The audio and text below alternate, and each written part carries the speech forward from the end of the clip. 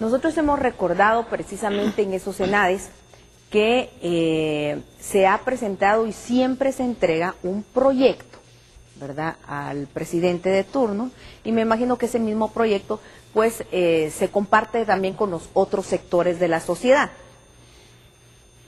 ¿Qué tanto se han alcanzado de esos proyectos que se han entregado año con año? ¿Se han hecho una realidad? Bueno, ya usted nos hablaba que existe ya un consejo, ya eso es un paso importante, pero lo pregunto porque eh, a veces preocupa ver que, por ejemplo, las últimas cifras del PNUD dice que son, mm, somos más o menos un millón seiscientos y pico mil de guatemaltecos que todavía viven en la pobreza. ¿verdad? Entonces, ¿qué tanto se ha alcanzado ese crecimiento, esa inversión, esa lucha contra la pobreza de los proyectos que ustedes han presentado? Yo diría que, que todavía es un gran reto por alcanzar. Hoy por hoy Guatemala en los últimos 10 años ha crecido a un promedio de 3.3% eh, al año. Eh, eso es muy poco para realmente reducir la pobreza significativamente.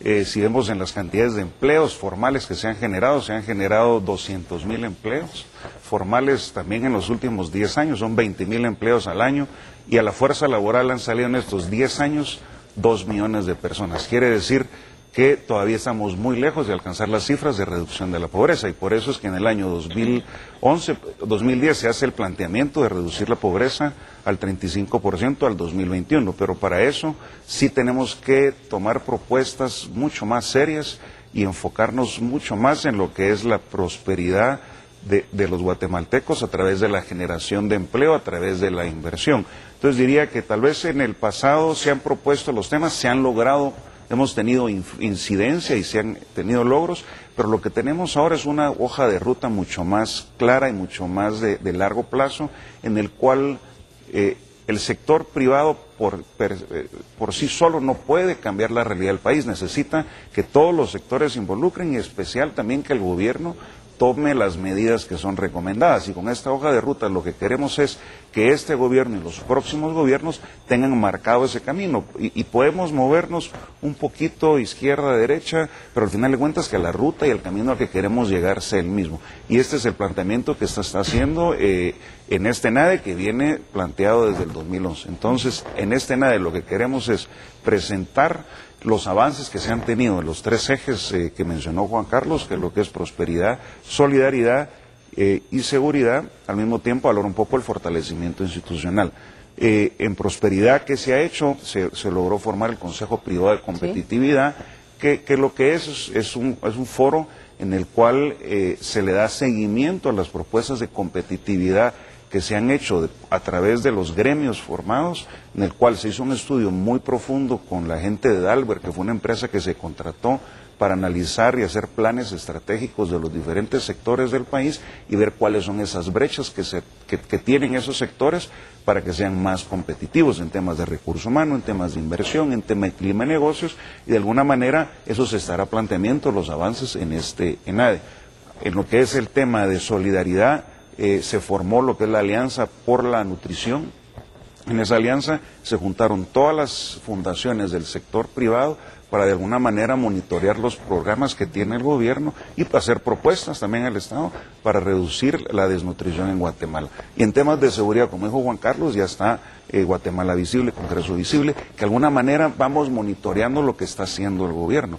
Pero eso no, no, no, es una propuesta nada más del sector privado, no que tenga una propuesta de toda la sociedad para que realmente todos adoptemos esas, ese, esa hoja de ruta que se está marcando y que sea un plan de largo plazo. Hablando precisamente de esta hoja de ruta, señor Zapata, de, de la que hablaba el señor Torreviarte, y quiero retomar, digamos, algunas cosas de los ENADES para que de alguna manera los guatemaltecos eh, recordemos, o los que no han tenido la oportunidad de participar en el ENADE, conozcan cuáles son las temáticas, los temas que se están planteando en la mesa y los diferentes sectores que están participando de. En esta hoja de ruta, bien decía el señor Torreviarte, se habla de lo que es para combatir la pobreza. Parte de sería la generación de empleos.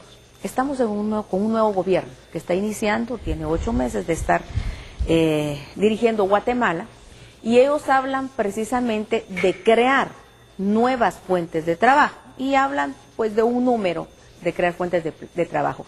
Pero todos estamos claros que no es el gobierno quien crea la fuente de trabajo, es, eh, digamos, el sector privado a través de, eh, por supuesto, una adecuada inversión, pero que también de alguna manera crezca el sector eh, privado para que pueda crecer lo que es el trabajo. ¿Ustedes proponen algo en este, en este tema precisamente? Sí, de hecho, esa es, digamos, la propuesta en Guatemalteco Mejoremos Guatemala, es una hoja de ruta al año 2021. ¿Qué quiere decir esto? Que tres presidentes van a tener que ir tocando ciertos temas para que realmente sea una visión de mediano y luego pues largo plazo. Lo más importante de este tema en el caso de una Guatemala próspera es que se tienen que crear los mecanismos necesarios para generar mayor atracción de inversión. Y aquí hay varios avances que es importante empezar a reconocer, pero que todavía tenemos que trabajar muchísimo más. Por ejemplo, el poder facilitar esa generación de empleo y e ir eliminando los cuellos de botella para poder abrir nuevas empresas. Pero eso es solo uno de los temas. Hay que también empezar a trabajar en mecanismos de diálogo que reduzcan el conflicto hacia grandes inversiones para poder llevar energía más barata, por ejemplo, a áreas en eh, la provincia, porque realmente vemos que el costo de la energía para una industria, pues a medida que se va alejando de la capital, el costo de la energía es mucho más caro. Entonces necesitamos generar fuentes como hidroeléctricas, donde realmente se pueda abaratar la energía en el interior del país y poder empezar a trabajar en, esos mecanismos. Por otro lado, necesitamos mayor infraestructura, eh, que es fundamental para toda la conectividad y uno de los temas más importantes, reducir los costos asociados al crimen y la violencia, que realmente a Guatemala lo tienen en la, en la última posición 144 de 144 países en cuanto a la percepción de costos asociados al crimen y la violencia. Eso es un costo que el empresario debe asumir porque realmente hay una falta de protección, digamos, hacia el individuo, obviamente hacia las empresas también, pero digamos que el, crimen afecta a todos los individuos en general y es uno de los aspectos fundamentales para que realmente se pueda fortalecer la capacidad del Estado. Entonces vemos que eh, en los últimos años el Foro Económico Mundial cada año hace una encuesta y pregunta cuáles son los factores más problemáticos para hacer negocios en un país en el caso de Guatemala hay tres importantes. Primero, los costos asociados a la inseguridad. Segundo, los temas de transparencia, porque hay mucha corrupción en el Estado y eso no permite generar mayor inversión social. Y tercero, pues lo que tiene que ver con la calidad educativa. Y es parte, digamos, de ese proceso de poder fomentar una mayor calidad, una mejor calidad educativa para que realmente las personas puedan tener eh, mucha mayor capacidad de trabajar.